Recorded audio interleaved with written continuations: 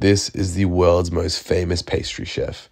Cedric Grolet is known for his uh, delicious pastries and his fruit inspired desserts. His pastries are arguably the best in the world and they look phenomenal. They look just like real fruits. He has amassed over 14 million followers across TikTok and Instagram by showcasing his phenomenal technique.